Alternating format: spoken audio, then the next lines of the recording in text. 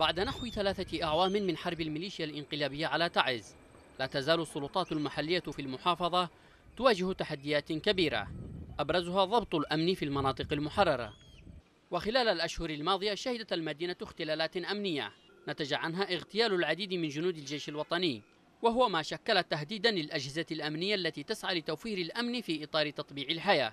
يرى مراقبون أن بروز جماعات مسلحة خارج المنظومة الأمنية ساهم في عرقلة مهمة السلطات المحلية وعقد عملية تثبيت الأمن. تكمن خطورة تلك الجماعات المسلحة على تعز أنها أضحت تمتلك سلطات خاصة بها بالإضافة إلى سجون ومعتقلات. ويؤكد محللون أن الرعاية الإقليمية لبعض تلك الجماعات بات واضحا. من خلال الرغبة الإماراتية السعية إلى بناء حزام أمني للمحافظة على غرار العاصمة المؤقتة عدن. تحاول السلطة المحلية بتعز وتفاديا لمشاكل مستقبلية تثبيت الوضع الأمني والحفاظ على مؤسسات الدولة. ولهذا دعمت الحملة الأمنية التي دشنتها الشرطة العسكرية حيث بدأت بالانتشار في عدد من شوارع وأحياء المدينة.